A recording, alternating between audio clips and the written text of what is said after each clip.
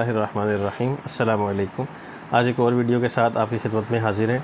आज का जो हमारा टॉपिक है, वो बड़ा इंटरेस्टिंग है टेक्निकल सी चीज़ है। छोटी सी एक आइटम है, इसको कहा जाता है कमोड थिम्बल ये कमोड का थिम्बल होता है, कमोड जो है डब्ल्यू सी जिसको हम कहते हैं, इसको जब कनेक्ट करना होता है सीवरेज लाइन के साथ तो ये पीस जो है प्लास्टिक का ही यूज़ होता है।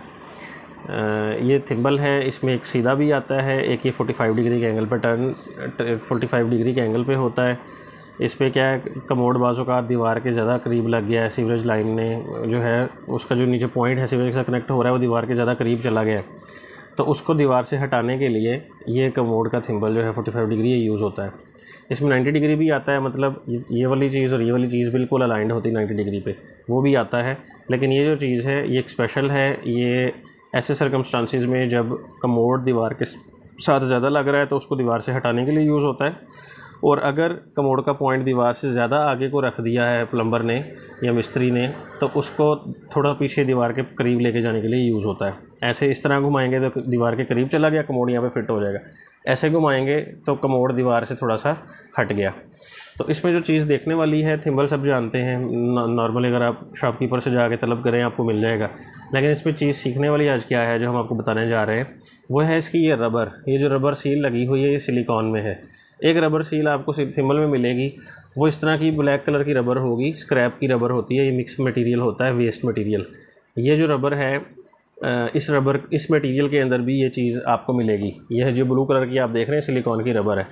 आपने जब भी कमोड थिम्बल अपने घर के लिए सेलेक्ट करना है न्यू कमोड के लिए सिलिकॉन की सील वाला लेना है। ब्रांड जो मर्ज़ी हो, उसमें जो रबर है, ये जो सील है, ये सिलिकॉन की लगी होनी चाहिए। इससे क्या होगा, ये प्योर में मटेरियल में होता है फ्लेक्सिबल है।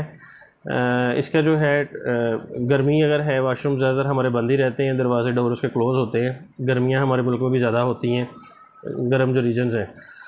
उसमें ये ख़राब नहीं होती जल्दी सील जल्दी ख़राब नहीं होती हार्ड नहीं होती, जिसकी वजह से कमोड लीक नहीं करता for a longer period of time अगर नस्बता उसकी नस्बत अगर आप ये ब्लैक सील वाली ये कमोड थिम्बल लेंगे तो ये आफ्टर टू थ्री मंथ्स और फोर मंथ्स ये गर्मी की वजह से, क्योंकि ऑलरेडी स्क्रैप है वेस्ट है, ये हार्ड हो जाएगी, वहाँ से कमोड जो है लीक करना स्टार्ट कर देगा। फिर प्रॉब्लम बनती है, आपको प्लम्बर बुलाना पड़ेगा, मिस्त्री बुलाना पड़ेगा, दोबारा तोड़ फोड़ करनी पड़ती है, वो बहुत इशू बनता है। तो लिहाजा, बस छोटी सी चीज़ ध्यान में रखें कि जब कमोड थिम्बल आपने लेना है, किसी शॉपकीपर से सिलिकॉन की सील वाला लेना है सिलिकॉन की रबर वाला लेना है।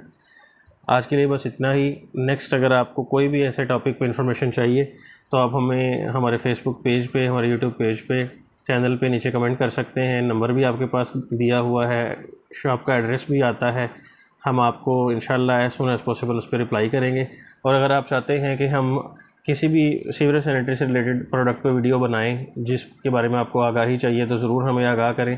हम इन जल्द अज जल्द आपके लिए वीडियो लेके आएँगे। असल वरहमल वर्का